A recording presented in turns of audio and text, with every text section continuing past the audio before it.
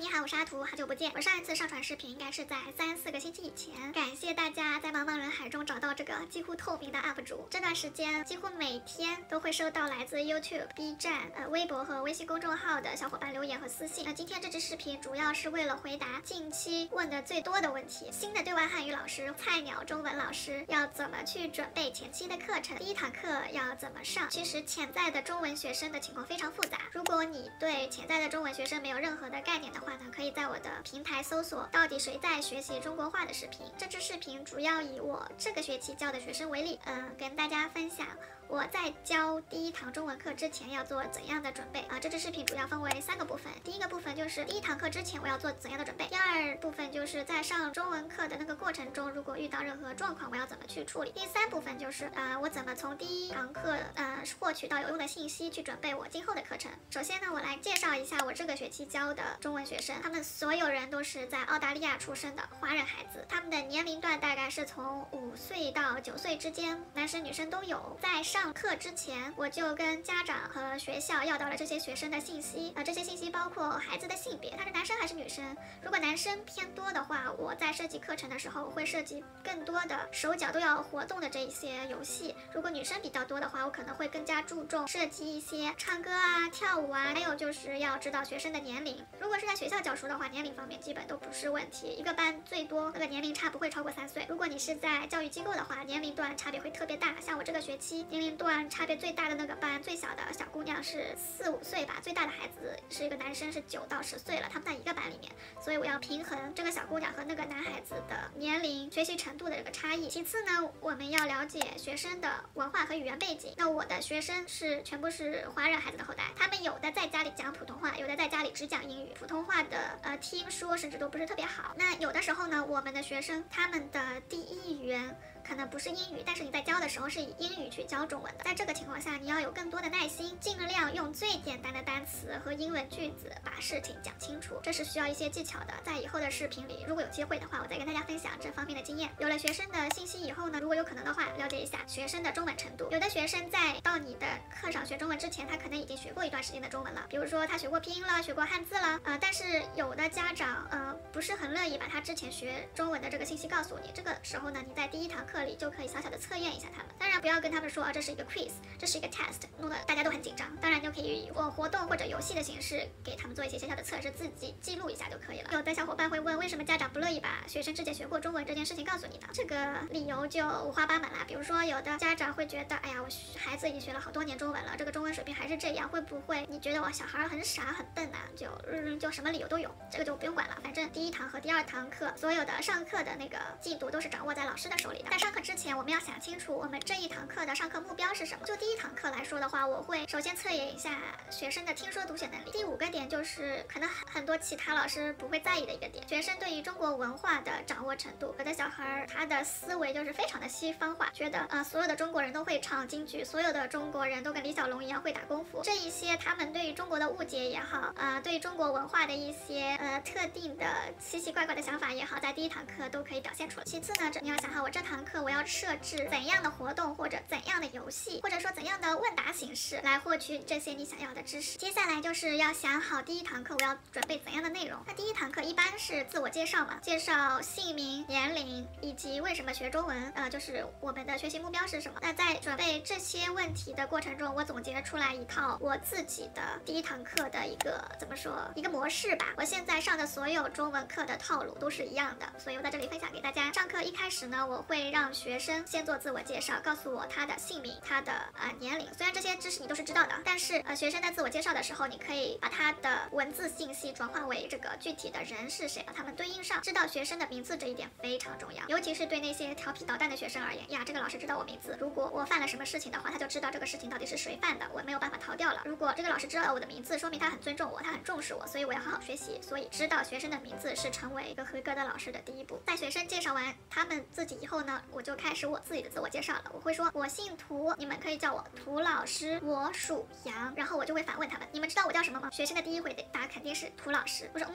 我叫涂老师吗？老师是我的 occupation，我的职业。涂是我的 surname 啊。你们到底知不知道我叫什么？他们肯定会说不知道，他们只知道我的 surname 和我的 occupation。OK，我说，你们知道我几岁吗？他们也不知道，no idea，因为我只告诉他们说我属羊。好，我下面就开始介绍中国的文化。为什么我们在学校里面我们会叫一个人什么什么老师，而不是直呼他的名字？呃，如果这些学生是华人孩子的话，你甚至可以介绍老师这个名词的由来。接着我会介绍为什么问一个呃为什么那么直接的问一个老师你几岁，就是没有那么礼貌的事情。然后呢，就大概介绍一下中国的生肖，呃，Chinese zodiac。然后呢，就可以跟学生做一些互动。你是哪一年生的？你的生肖是什么？如果学生的程度比较好的话，第一堂课就可以给他们讲十二生肖的故事，这个十二生肖的由来，它的 order 是什么？那在以后的第三、第四堂课就可以教这些十二生肖的动物。十二生肖动物教完了以后呢，你以后可以再教啊，这十二生肖的特点是什么？比如说它的眼睛、鼻子、尾巴啊，这个脚、它的皮肤、它的毛这些东西，在以后都可以做一个呃补充的教学。下一步就是要开始教数字，数字一般是在第一和第二堂课教，先教一到三的汉字，一一划二，两划三，三划四是四划吗？可以讲一个万字难写的故事。如果有的中文老师自己也不知道这个故事的话，可以百度或者 Google 一下。嗯，学生都是喜欢听故事的嘛。如果他们表现好的话，在今后的上课过程中，也可以给他他们讲故事来作为一个奖励。那有的学生可能这个时候会觉得，哎呀，汉字好难呀，四不是四划五，不是五划，那这个以后怎么学汉字呢？在这里呢，给各位老师介绍一本非常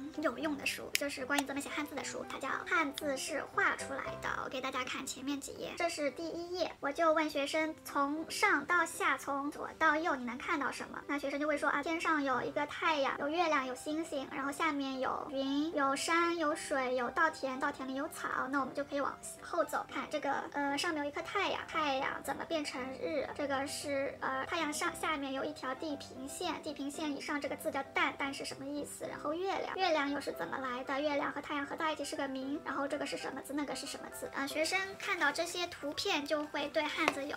呃，一点点的了解，汉字一开始就是画出来的，汉字是象形文字啊。他们对汉字有了兴趣以后呢，就不会那么惧怕写汉字了。我们要理解，有的孩子从来没有写汉字，他们只是听大人说、听新闻里说汉字特别难，所以他们心里会有一种恐惧感。我们要做的就是把他们的这种恐惧感啊土崩瓦解掉，让他们觉得写汉字是一件特别有成就感、特别好玩的事情。其实讲到这里，时间就差不多了。这个时候呢，我会稍微引入一些拼音，在教拼音之前，我会在先。在黑板上写一些比较常见的英文名字，比如说 Emily、Lisa、James、Ruby。如果这些孩子的英文名也比较常见的话，也可以把它们抄在黑板上啊。然后呢，你可以用我之前介绍过的那种小的随写、随擦、随贴的这种 flashcards 上写下他们的中文译名。比如说 Lisa，你就在小白板上写丽莎，把它贴在白板的另外一侧。然后 Emily 写艾茉莉，James 写 James，呃，写詹姆斯，Ruby 写露比，把它贴在全部贴在白板的另外一边。然后问学生这个英文单。词你觉得它对照的中文名字是哪一个？那有的学生可能呃第一反应就是 Lisa，就是丽莎。你把那个小的 flashcards 贴在 Lisa 的旁边，然后一个一个对应好，就跟他说，你听这个英文和中文它们有什么一样和不一样的地方啊？那先说一样的地方，它们的音特别像，Lisa 丽莎有什么不一样啊？哎，拼音的那个音上面会有一些小帽子，有一些 tones，丽莎，然后你把那个 tones 那个音调写在旁边啊，一般总结出来是四个音调嘛。接下来呢，这些啊英文名和中文名它们。的关系就是 transliteration 或者 transliteration 音译，这些音译你可以再找一些其他的例子，比如说水果里面芒果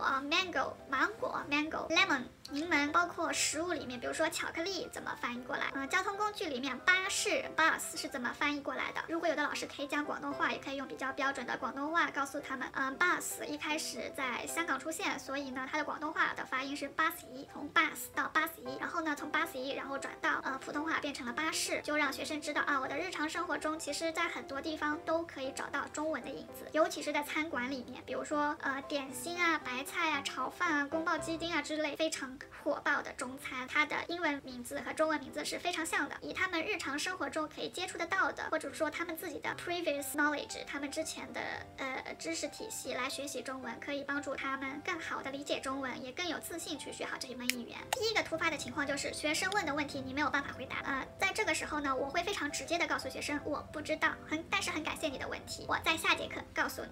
你不要觉得呃自己的脸面尽失，因为毕竟我们都是人，我们都不是神，我们都有自己不知道的东西。但是在此期间，你千万千万不要不懂装懂，给他一个你自己都不确定或者自己胡编乱造的答案。一旦他知道答案以后，你的尊严就真的扫地了。学生问的问题自己不是很方便去回答的时候呢，你也要很直接的告诉他，不好意思，这个问题我们在这堂课里不方便回答，在以后有时间的时候或者私下的时候我们再讨论这个问题。如果遇到学生对你不尊重，说出一些比较带脏字的话的话，你要怎么办？我们比较常见的处理方式，第一个就是 No，don't say something 做，他会越去做这件事情。第二个处理方法就是忽略他，但是忽略他以后呢，啊，有的学生就是啊，老师不理我就算了。那有的学生会觉得，哎，我是不是说的不够大声啊？他就更大声的来说这件事情啊，说那个脏字。第三个处理方法就是我现在比较常用的方法，我先是不说话，大家知道老师不说话了，这个很 serious 的事情要发生了，整个课堂气氛就是凝重了，安静了。然后我跟他说，Please respect each other，请你尊重每一个人，这是我的课堂，你要按照我的 instruction 来。如果你不想上这门课的话，你随时可以走。既然你在我的课里，你是是我的学生，我说的每一个字你都要听到。你刚才说的那个字我很不喜欢，我不想听到第二次。如果出现第二次的话，会有怎样的惩罚？你要把奖罚程度讲好。在第一趴的时候，我忘记讲的就是呃 classroom rules，你可以在第一堂课就跟学生们设计好。呃，一般是在第一堂课快要结束的时候，学生和老师一起来 set up 一个 classroom rules。啊，比如说老师在讲话的时候，你不要讲话；同学在讲话的时候要认真听。你有任何问题、有建议、意见的话，请举手，不要走来走去。在上课之前上好洗手间，除非你特别需要举手告诉老师。在上课的时候不能喝水，不能吃东西。呃，不能喝水和不能吃东西这两样事情呢，在西方的国家，他们上课的时候，大多数学校上课的时候，就学校里面老师会规定的，你不能喝水，不能吃东西。所以即使你是在一个教育机构，你也要跟他说，这里